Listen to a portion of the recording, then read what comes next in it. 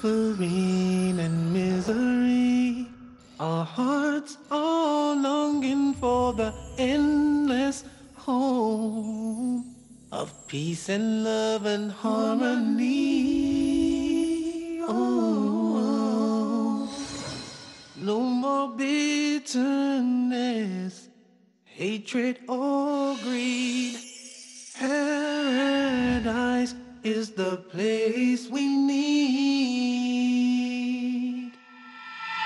feel the peace, inside of me. Greetings and peace. This is Dr. Lawrence Brown with another episode of Interfaith Issues. Today I'm going to be discussing Jesus Christ as the concept of Son of God. We left off last time having discussed the Christian concept of Jesus Christ having been not made. I am now moving on to the Christian concept of Jesus Christ as the Son of God. To begin with, I would like to read a rather amusing quote from Mark Twain. Mark Twain once wrote, One of the most striking differences between a cat and a lie is that a cat only has nine lives. It's a beautiful, it's a humorous, it's a nonsensical statement. In the same way, we sometimes encounter similarly nonsensical statements in various serious matters, such as religion. Christian missionaries are fond of using a particular argument called the trilemma.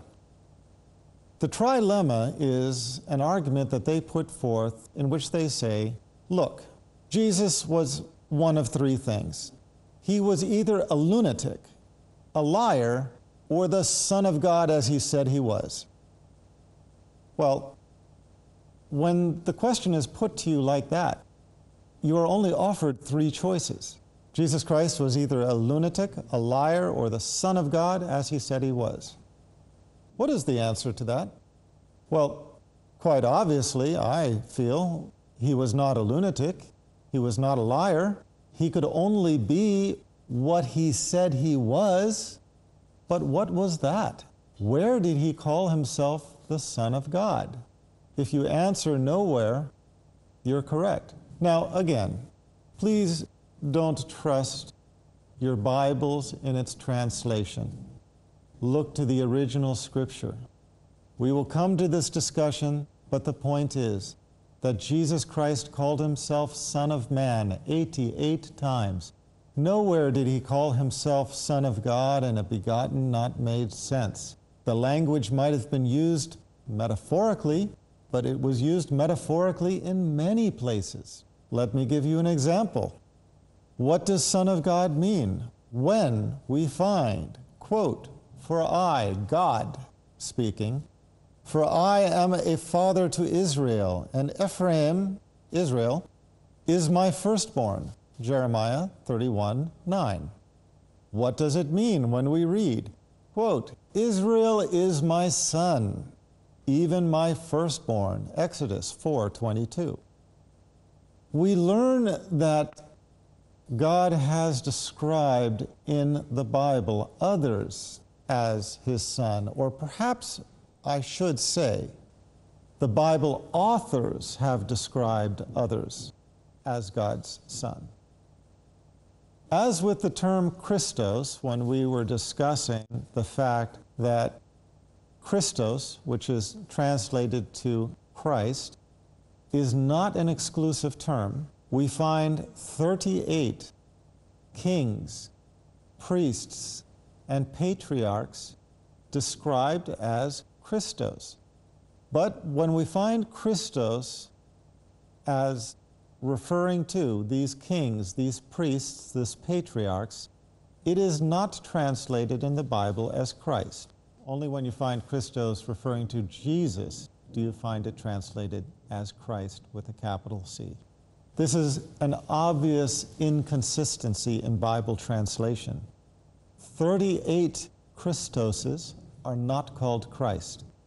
One Christos, Jesus, is called Christ. Why? Well, Let's read Hastings Bible Dictionary. Quote In Semitic usage, sonship is a concept somewhat loosely employed to denote moral rather than physical or metaphorical relationship.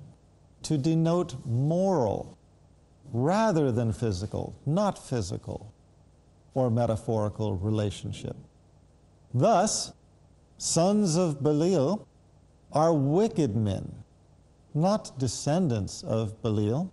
And in the New Testament, the children of the bride chamber are wedding guests. So a son of God, stay with me, a son of God is a man or even a people who reflect the character of God. There is little evidence that the title was used in Jewish circles of the Messiah, and a sonship which implied more than a moral relationship would be contrary to Jewish monotheism.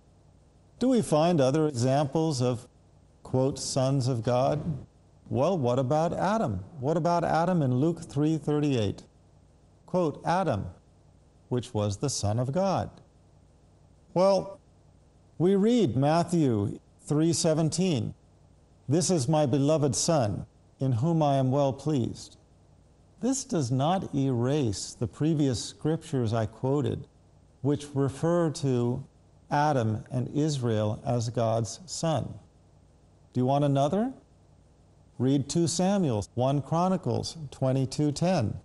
Quote, "He, Solomon, shall build a house for my name, and I will establish the throne of his kingdom forever.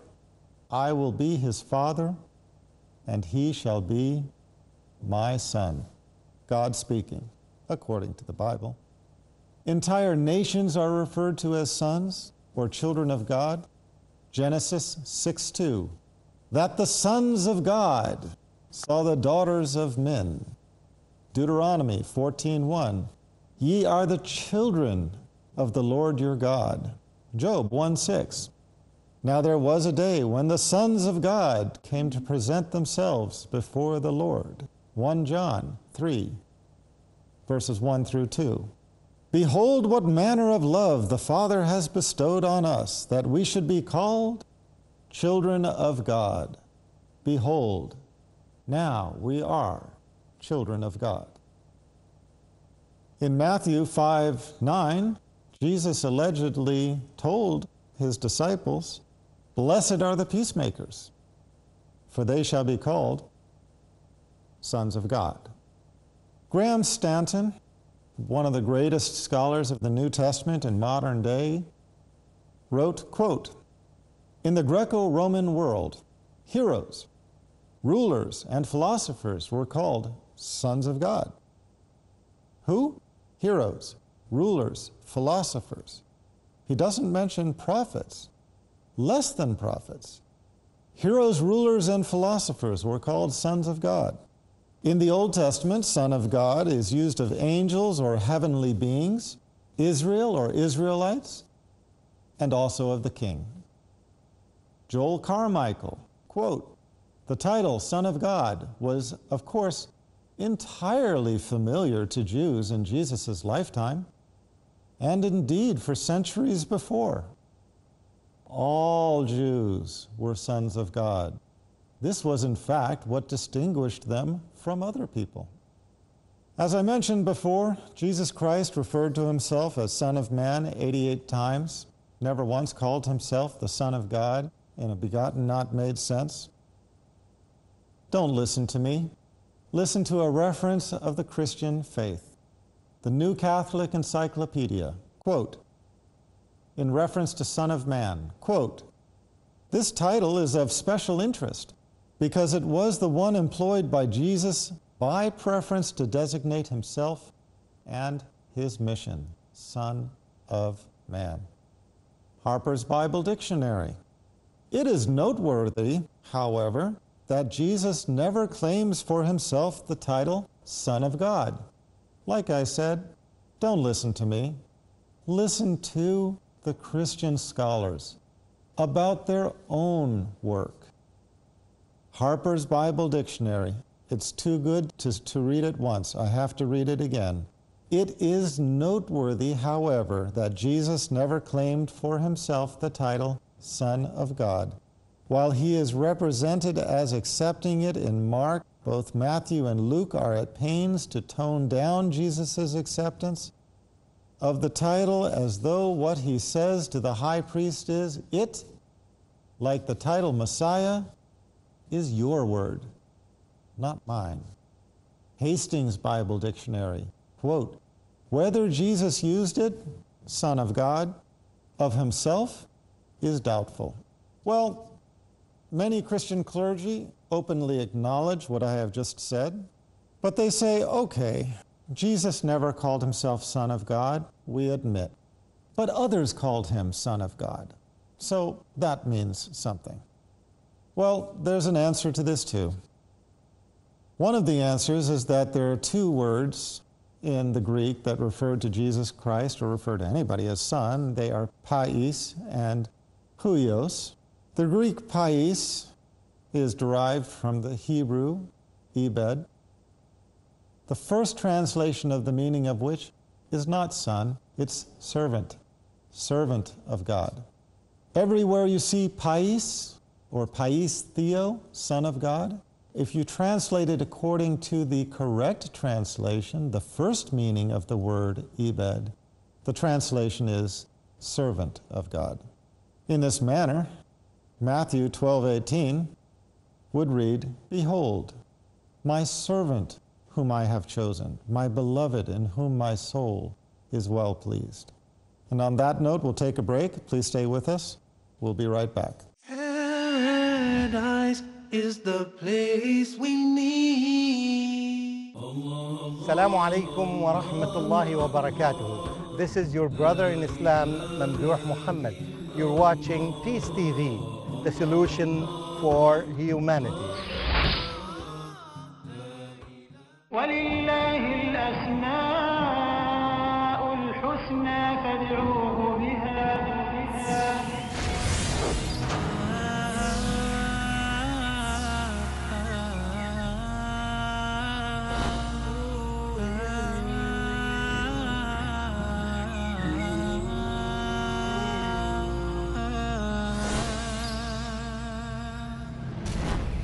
Al-Aziz, Al-Aziz the Almighty.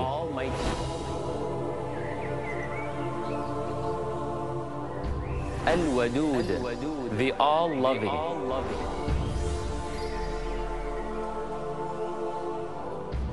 At-Tawwab, the Acceptor of your return.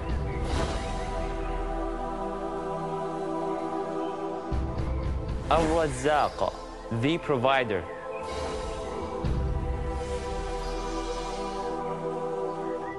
Al-Raqib, the all-watchful.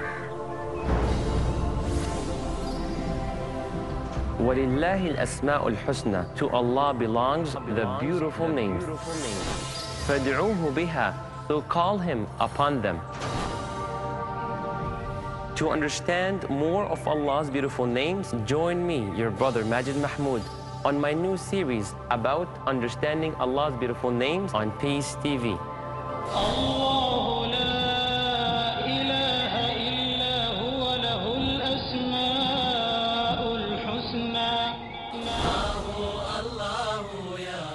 Miss the chance to comprehend the seamless explanation of Allah's beautiful names in Understanding Allah's Beautiful Names. Every Saturday at 8 p.m. and repeat telecast at 11.30 a.m. India on Peace TV. Knowledge insufficient. I was born into a Christian family. my years and years and years, 30 odd years studying Christian belief. There was no relationship between what the preacher was saying and what was in the Bible. Attitude incorrect. Philosophies incomplete. PhD holder in Christian theology to come and teach. But the book that he was using was the writings of Imam Ghazali. You have to be equipped first. You must have good knowledge of your deen. gaining knowledge or spreading Islam. But confusions cleared. Islam in question.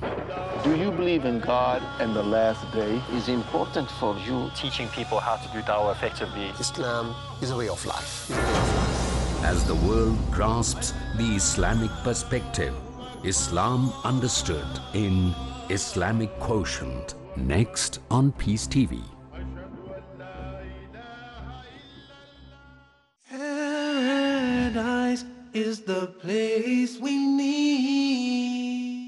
Welcome back. This is Dr. Lawrence Brown continuing with this episode of Interfaith Issues. We are discussing the concept of Jesus Christ having been called the Son of God in Christianity.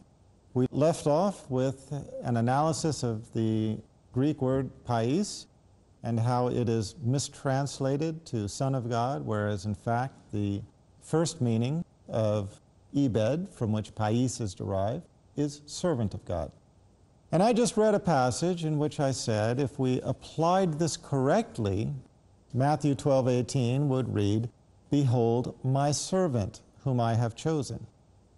Now, I'm playing a bit of a trick on the audience with reading the passage with this introduction. Because in fact, Matthew 12, 18 does read, Behold, my servant, translated from the Greek pais, my servant whom I have chosen. It is Matthew 3:17 that reads, "This is my beloved son in whom I am well pleased."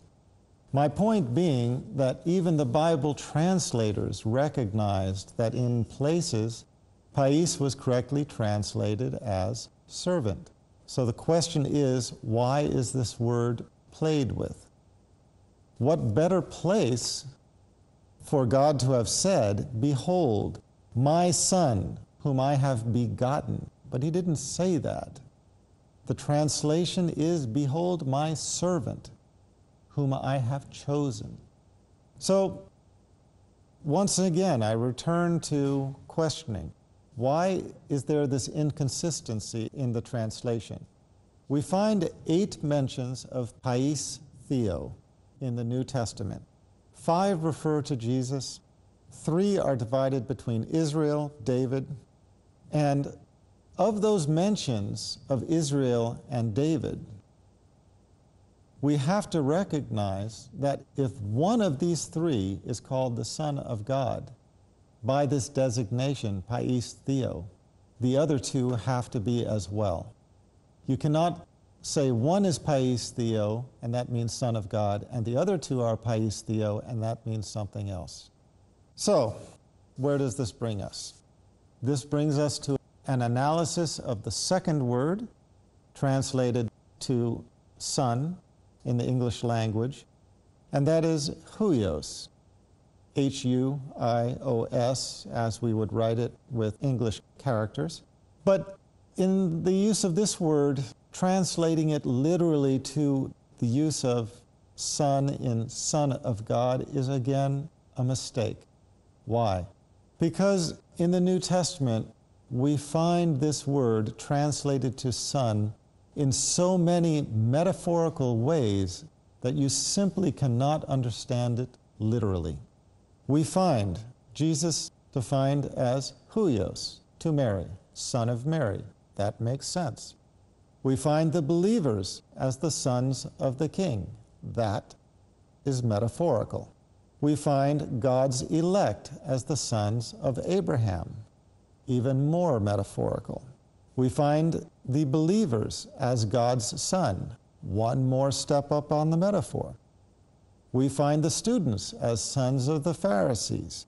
We find the favorite disciple described to Mary as her son. We find sons of the kingdom. We find sons of peace, sons of light, sons of this world. We even find sons of thunder.